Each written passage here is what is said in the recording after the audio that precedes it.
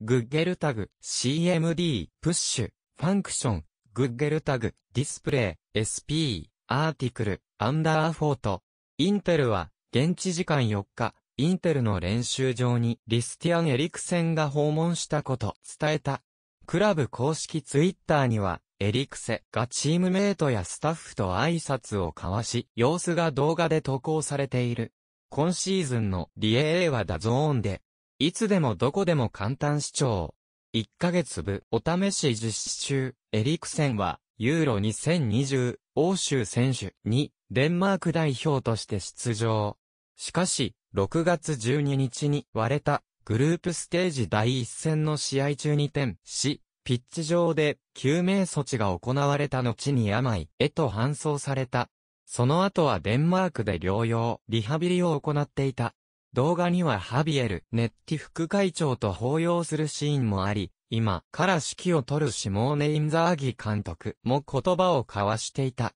ユニフォーム姿では、イが、その足取りは軽やか。同僚との久しぶり、再会に、表情も柔らかくなっていた。具体的な記事記の目処は明らかにされていないが、うつつは、デンマーク人医師の下でリハビリプログムをこなしているという。これまでのところ、腸に問題はなく、心身ともに健康な状態でまた、までのステップを踏んでいる。次ページ、動画、終場を訪れたエリクセンの様子は、